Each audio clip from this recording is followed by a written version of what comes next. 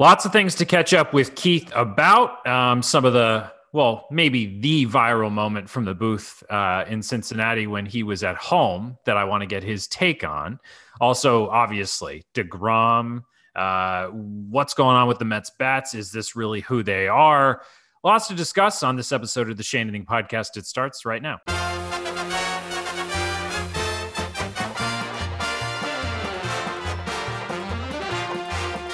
All right, welcome to the show, everybody. It's Doug Williams and Keith Hernandez with you today. A reminder to subscribe, rate, and review this podcast wherever you get your podcasts. And once again, Shea Anything is brought to you by Verizon. It's 5G built right for the Mets from the network more people rely on only on Verizon. So, um, Keith, I'm not sure if you were alerted to, uh, you know, Gary's thoughts on Skyline Chili, and we'll get your thoughts on Skyline Chili in just a second let's let's play this. Uh, I want to get your take, and uh, we'll talk about it on the other side. This is the local delicacy known as Skyline Chili, the five-way with the spaghetti five and way. the beans and the cheese. Five-way. First, the uh, the disgusting chili gravy. And what do you Down put on the that? onions? Do you put some mustard or something no, on no, that? No, wait a second. When the, after the onions comes the cheese, and that's what makes it the five-way. Here we go. There's the cheese. They put like 10 tons of, of, shredded cheese on there. And this is supposed to be food that you actually eat. Now, does the cheese melt or is that a. a Ronnie, Ronnie, have you ever had Skyline chili? I have not. I have not. I would recommend not that, having it, or well, no. You, you need to try everything once. Okay, right? all right. What doesn't kill you makes you stronger. Try it once, and then you'll never eat it again. Strong remarks. Um, some folks in Cincinnati were we're not offended. too pleased. They were offended. Yeah, I think that's the right word. Keith, have you ever tried it? I have not, and I won't. and I think everybody understands why I won't. You had a good look at it. All those all those viewers had a great look at it, and um, I was watching when that was uh, that game when it when they went through their little routine there, and uh, I will not be a team player with Ronnie. I am normally a team player, but I draw the line on Skyline Chili. I'm going to be selfish. I am not going to ever try it. So you don't agree with Gary's philosophy that you should try everything once, try it before you knock it. Well, Doug, if I was as young as you and not packing the extra, a little bit of extra weight, I would try it. But uh, how many calories are in a plate full of that? Do you think? What threw, uh, I think more than a more than a day's full for me. Yeah. Well, what threw me off was Gary said five way, which I guess includes the spaghetti.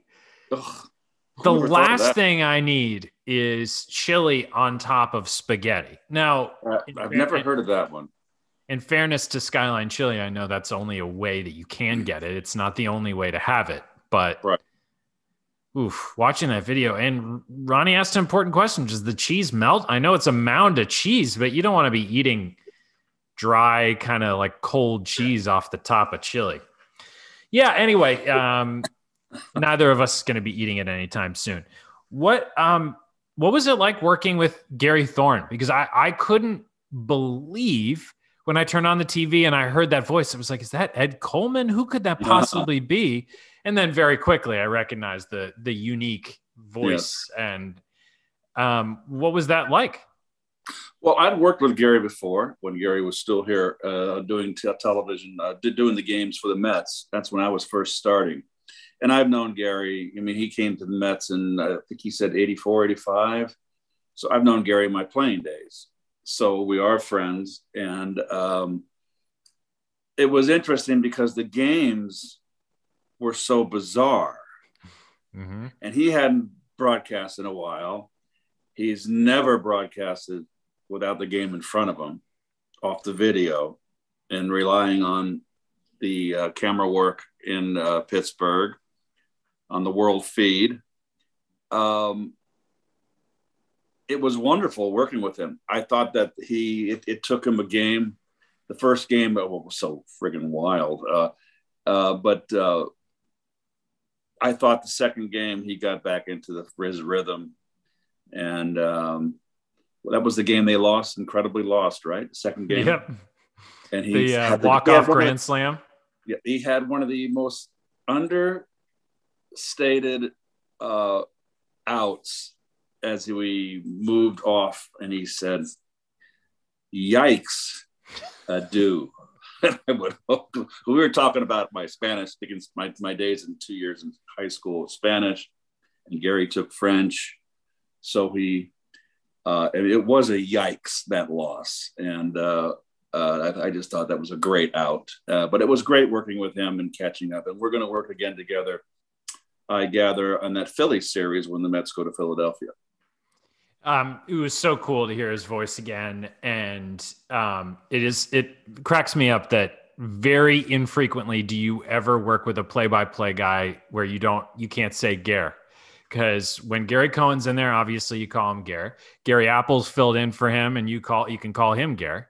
And now um, Gary Thorne, it's very it makes it it makes your job a little bit easier. You you don't have to you know learn some stranger's name and and uh, toss back to somebody named I don't know Felix or something. Well, um, I, made, I made a point pretty much the majority of the broadcasts to call him Gary. I Gary, yeah. So Gare is reserved for Gary Cohen. Yeah, that's... Gary and I are Gary and I are, we've been working together for 16 years, and that's what I my brother's Gary, my older brother, my only brother, only sibling, and uh, I always called him Gare. That's why I call Gary Cohen Gare because it's like talking to my brother. Right. I, I cannot, still can't get over the series that, that you worked in Pittsburgh, though. I mean, I know you weren't there; you were in, at Citi Field doing the games, but um, the roller coaster ride that was those games. I mean, like, was your takeaway from that? Um, that was a bad dream, and the Mets can kind of just push that aside. Did you bring anything out of that series that was concerning about this team moving forward? I had a feeling they were going to win when they were down, and I said it on the air when they yeah. went down five nothing, or was it six nothing? I forget. And I it was uh, six nothing. Yeah, I just had a hunch they were going to come back. That this was going to be a reversal of fortunes, and the Mets were going to come back and get them. Uh, and you know the Pirates don't have good pitching, and that was why. If it had been a team like the Giants, you know, or someone with Braves, uh, you know, Dodgers. That's that's a tough comeback. But I just felt that uh, that with that pitching staff, they would get him. And you know, Rodriguez, their closer, doesn't throw that hard, and he gave up the home run uh, to Conforto. And he had only that's only the second home run he'd given up all year, or third. And I think a pitcher sometimes can get a little cocky. And I'm not saying cocky is not the right word, but maybe he hasn't given up home runs and he's getting away with this high fastball. And Conforto uh, got it and kind of rocked his world. And it was just a huge, uh, it was a big, big, big win for the Mets. So, um, but you know, the, the play with the Walker and all the three runs scoring and oh my God, it was just, and you know, the, I had to see it over again because I mean, the camera work I thought yeah. was okay, but who can anticipate that? And uh, I had to see it again because I'm watching the monitor on that's the feed to the fans. And really, probably you can't anticipate that happening. And, you know, give hand, hats off to Joey Cora, the third base coach. He kept on waving those guys around. Yep. He was on it. So it was a re- remarkable play, um, uh, incredible play. And uh, it was a bit embarrassing, but, you know, they bounced back. I'm I'm curious because I agree with you. I was watching so closely with the camera work because I was waiting for like a really slow from home plate, you know, view of the baseball. And we got one that showed that clearly some of the baseball was on the line, so it was fair. But when you see the angle from Walker's vantage point, I can totally understand why he thought the ball was foul. Right. Well, I didn't under what I didn't know, and Gary uh, came back the next day. When he came back, he didn't come back the next day because he wasn't working when he the first game in Cincinnati that the, I did not know that the ball doesn't have to be touching the line because it's round, it's spherical, and uh, just as long as the body of it on the arc, if it's on the line, hmm. it's fair. I did not know that. So you learn something new every day. But most importantly, the big mistake was Walker didn't have to shoo it off into the dugout. Right. Just grab it. Ball's dead or if it's fair, it's still alive. But if it's a still alive and he calls it fair, only one run scores, Right. not three. People uh, brought back memories of David Cone, and Yeah. uh, it was I, I was funny because Coney was tweeting about that and saying, you know, once it happens, people never forget. You just have to kind of joke about it years and years later. Um, And at least Cone had the ball. Cone was fired up, but at least he had the ball on his person. Um, you know what was interesting? I you you met, you used the word embarrassing, and I know that that's a word that you use a lot because as a former player, there were moments that you felt like that, and you always wanted to see somebody bounce back. Um, after Walker made that play, Rojas obviously gets tossed, ended up getting suspended. He was really fired up. Mhm. Um, don't you think if you're Walker, it feels good that even if deep down you know, okay, I screwed up, that your manager's behind you and is willing to die on that hill with you? Uh, I just think Louis Luis was warranted to go out there, and uh, you know he didn't have a great angle. I'm trying to. The Mets are on the first base dugout, but the dugouts today are so far away from home plate or up the line more. Uh, I'm sure he didn't have the best of, of angle, but um, that's certainly the most uh, angry I've seen him. And I really think the uh, suspension was unwarranted because of. I mean, if they had said he's suspended two days because he bumped the umpire, fine. But he didn't say that. They said Aggressive arguing? arguing. Uh, Yeah, excessive a- excessive Give me a break. You know, let, let, let's go have tea and crumpets out there and everybody play patty cake. I mean, give me a break. Uh, so he should not have been suspended. He should have been fined and he should have been allowed to manage. So that was the the first of our um, three batter rule. I kind of skipped over the label of the segment, but the second one, Keith, is Edwin Diaz. Um, First time in his career, he's blown three straight saves, as I'm sure you know. Um, last year, 60 game season, um, but in the middle of it, Rojas, you know, as you remember, brought him back to the like fifth and sixth inning, and kind of he earned his way back to the high leverage spots. Would you do that here with him uh, because it's worked in the past, or would you just wait for him to try and work his way back to being himself? No, it's too soon uh, to uh, push him back. He's that would be, I think, emotionally devastating for him, and I think you got to go with him. He gets in trouble when he goes three quarters and he gets out, out of, off from coming over the top. That's what happened the first year. His ball runs away, and he can throw it to the backstop sometimes, and uh, he uh, he's kind of hard to figure out. Uh, you know, he he's been great all year, and now he's kind of hit a speed bump since the All Star break. Uh, but he needs he can't throw three quarters out here. He's got to throw up here, and that's what gets him in trouble. When he's out here, his ball sails, and he can't command the fastball, and then his slider flattens out or he hangs it, and that's the problem. And um, it's an easy fix. I'm sure they're on it on the sides, but they need certainly need him to get it back together. Jeremy Hefner, that's like the first thing he always says when he's asked about Diaz getting on top. Um, so to your point, I, I'm sure they're working on it. And I think Keith, honestly, the, the Diaz conversation is bigger than just like, what do you do with him right now? I think Mets fans are looking ahead to a team that's probably going to be a playoff team. They'd hope being like, are we really going to be in a three-two game against the Padres in October and, and Diaz is going to come in in the ninth inning and like, how is that going to feel? So, like, do do you think that Edwin Diaz is capable in a Met uniform of, you know, changing the way Mets fans feel and making it feel like the game's over when he comes in?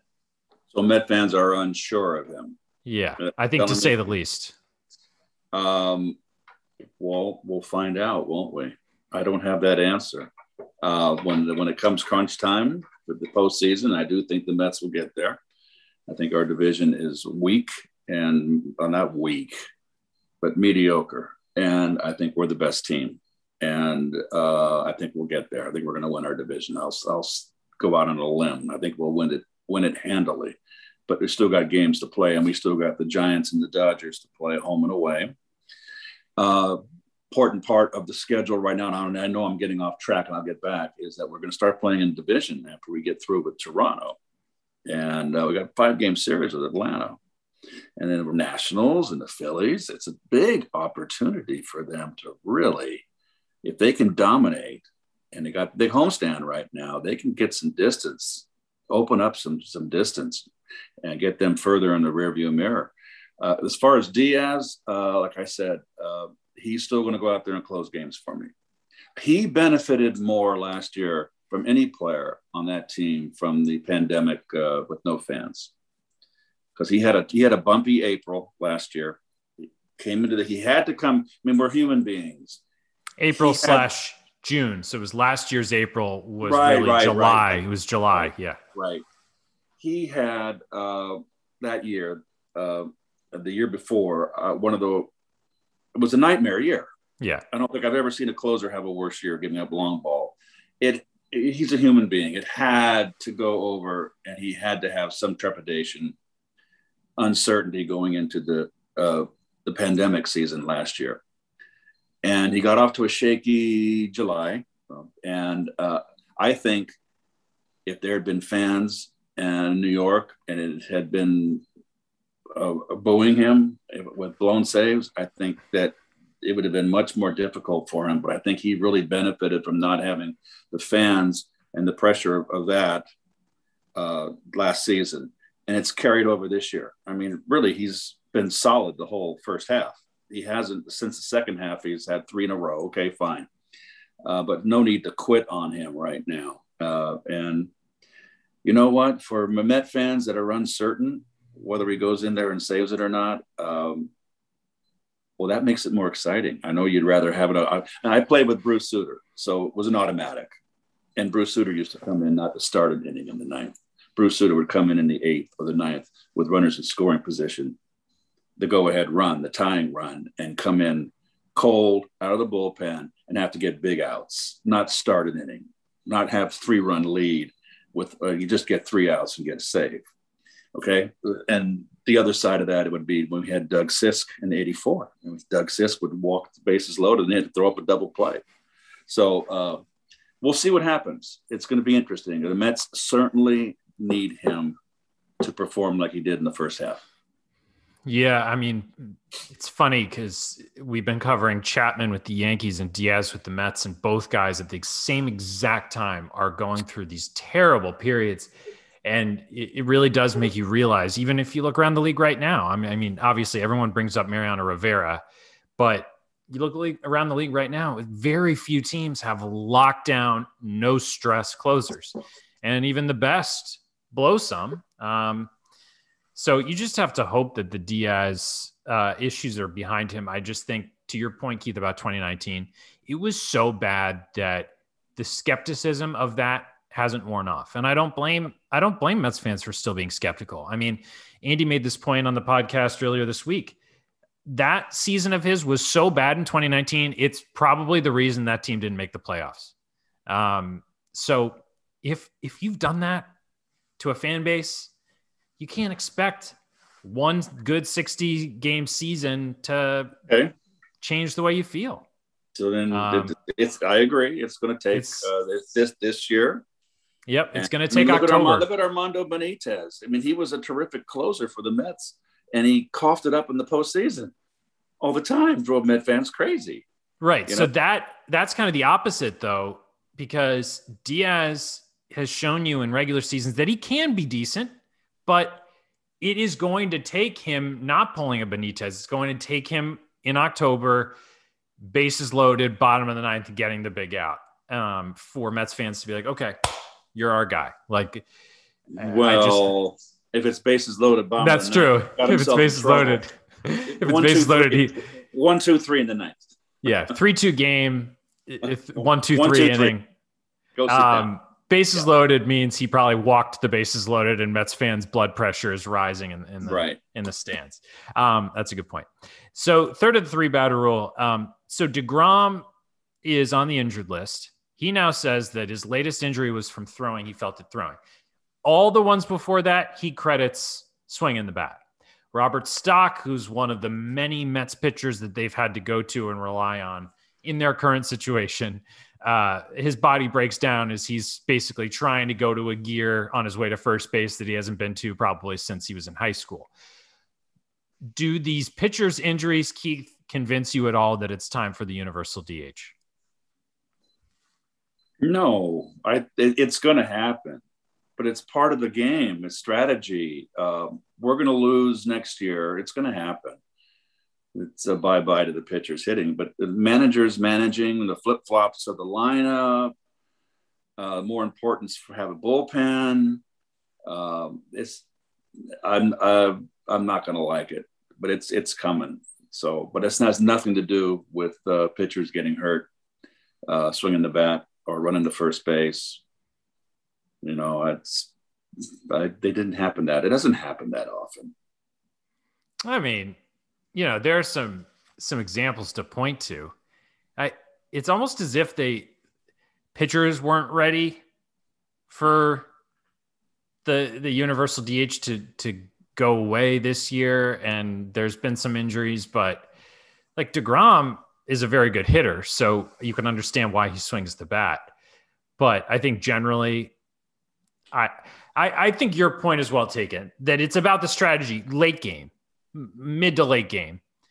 I think a lot of people when they talk about pitchers hitting, it's like, why do I need to watch the starting pitcher take three at bats? Do you see what I'm saying? That's a that's the boring part. You're talking about the exciting part of pitchers hitting, but there's also a very boring three at bats that you have to endure. Well, unfortunately, there's a lot of boring at bats in the course of a game with the re- everyday regular players, with them That's true. striking out so much and swinging and missing some a lot of them. So, uh, but pitcher comes up four times a game if he goes not, not even four times anymore because pitchers don't go nine. He's going to get up a max of three times, most times two. So suck it up and watch the pitcher hit and make watch him try to get a bunt down and maybe he gets a base hit and wins a ball game or is in a part of a big inning. That's the joker. That's the wild card in the deck. Is the pitcher hitting? I, I thought it was funny. Did you do you remember? I don't know if you were watching. Um, Diaz, a save he eventually blew, but he walks the the leadoff batter in Cincinnati, and Tucker Barnhart, their catcher, comes up. Yeah. And again, he walked the leadoff batter on four pitches, and Barnhart swings at a first pitch slider in the dirt. He ended up uh, striking out on three pitches. And, you know, Gary was gone. I know. I heard it. I, I And. Ronnie said, hitters have never been smarter and more stupid. I'm quoting him, but I'm pretty sure that's what he said. Okay. So, That's hi- about right. yeah, so they they know more than ever, but they also know less than ever. If Like I they have, have, they have more information, but they use it wrong. I have. If I've got a pitcher that's in trouble and it's, has, has walked people, and it's having trouble finding the plate, I am first ball fastball hitting. If I see a spin on it, I'm not swinging unless he throws me a hanger. I'm on a fastball. Tucker Barnhart's a 220 hitter. Come on. You know, the 220 hitters, they, they swing at that. That's why they're 220 hitters. I mean, obviously, he did not recognize a slider. And when he's looking for a fastball, if you're looking for a fastball first pitch, because you got a pitcher that can't find the plate, then you swing at a fastball. If you see any spin, you take it if you're a 220 hitter. So obviously, he didn't see spin. And that's probably why he's a 220 hitter. I know I'm beating up on him, but, you know, it is what it is. All right, you're listening to the Shea Anything podcast. It's brought to you by Verizon. It's 5G built right for the Mets from the network. More people rely on only on Verizon. Uh, Keith, the team has been different since returning from the All Star break. A lot of runs. I think um, we were all expecting their position players to hit at some point. This has been maybe a, an, a correction that we didn't realize was going to come uh, as significantly as it has. Do you? What do you think that if let's say everyone on the Mets is playing well? What is their identity? What should they be the team that outscores you, or do you think they're going to win on their pitching? I think they need pitching now with everybody banged up. I don't think they need to add to the offense. So I'll just make that statement. Um, they're not barn burners uh, offensively. They haven't been yet.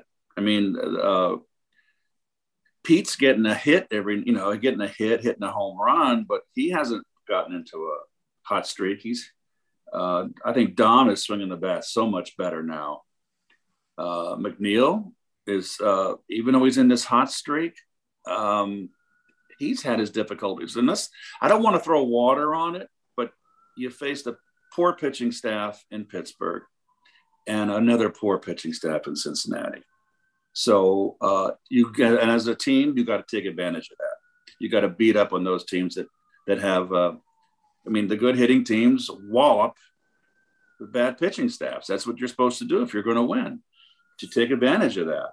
So uh, you got Toronto coming in, and then you got the Braves coming in for five. Uh, I think that the Nationals are looming. I don't know the schedule in front of me. The Nationals and Philly, they're all uh, coming back, you know, coming back through, and the competition is going to pick up.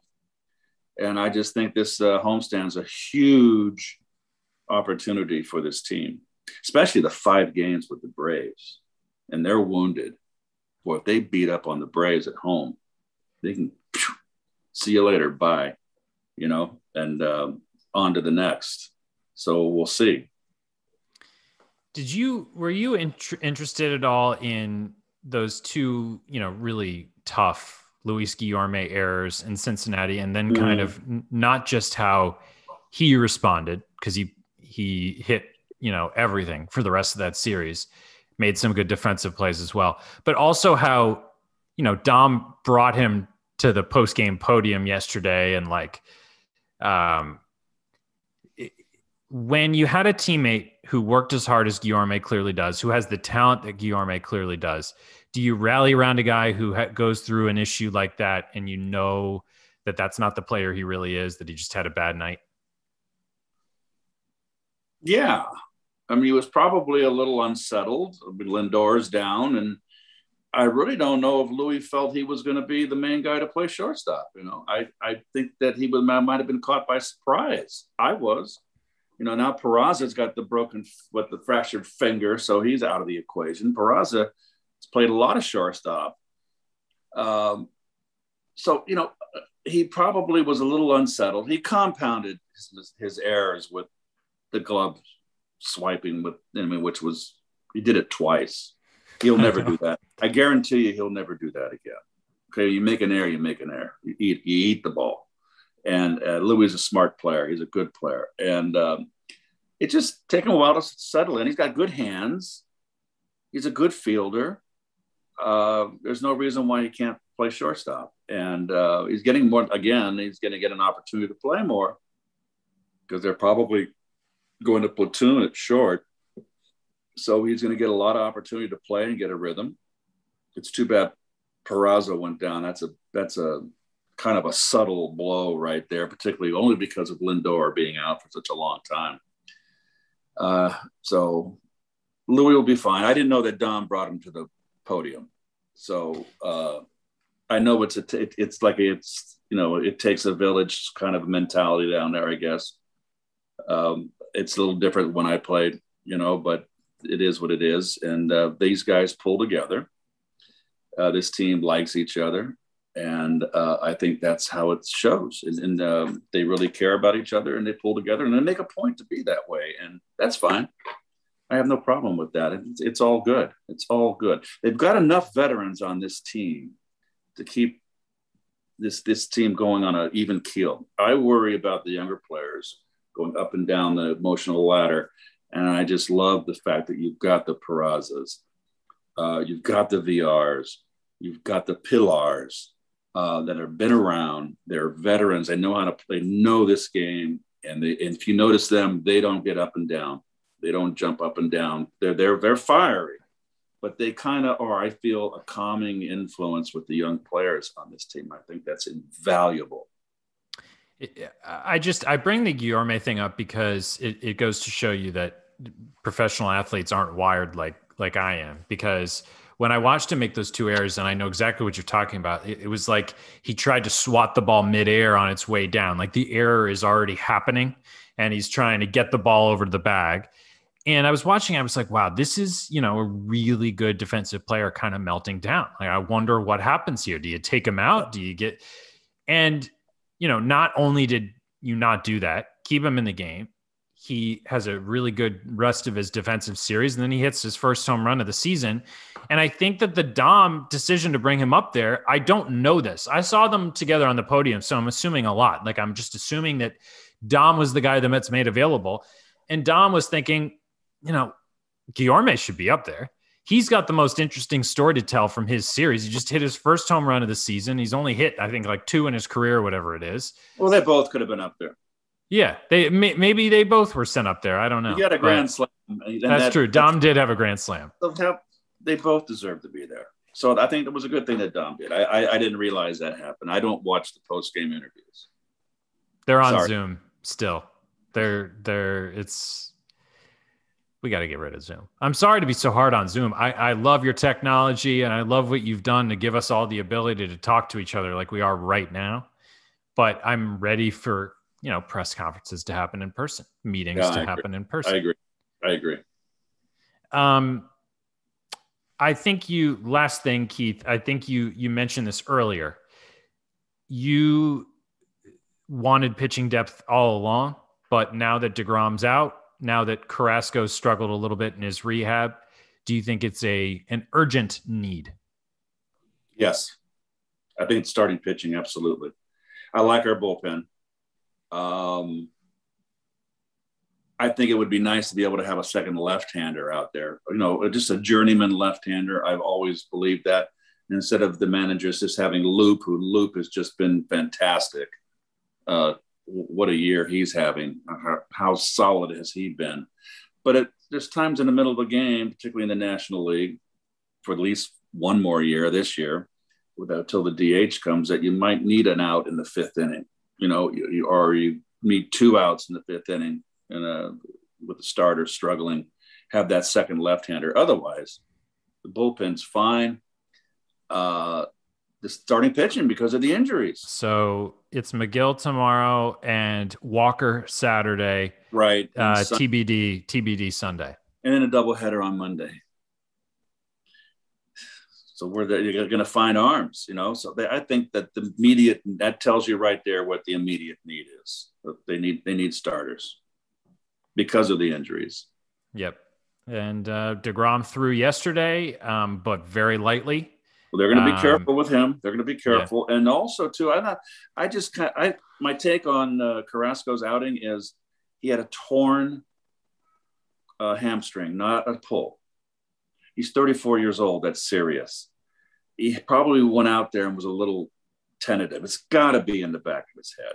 So I think as long as he stays healthy, and they've nursed him as they should, because that's it's tear is terrible, and um, I think he'll get better. And uh, as he rehabs, it may take a little bit longer. So I, I don't take anything. Go, oh my God, Carrasco got got his, got lit up in AAA. He'll get better. He'll be fine. He's a pro. Just keep him healthy. Yeah, we'll see where his uh, his next outing comes from. Um, a reminder to subscribe to the Shea Anything podcast. Apple Podcast, Spotify, wherever you listen. We appreciate it. And also a reminder that Shea Anything is brought to you by Verizon. It's 5G built right for the Mets. From the network, more people rely on only on Verizon. All right, Keith, enjoy uh, the rest of your off day that we've hijacked, and good luck yes. with the uh, the weekend. And we'll talk to you soon. I'm looking forward to this the whole next week, the whole homestand coming up. I'm really yeah. looking forward to it. We'll find out a lot by the end of it. All right, man. Be well, and uh, thanks for listening, everybody.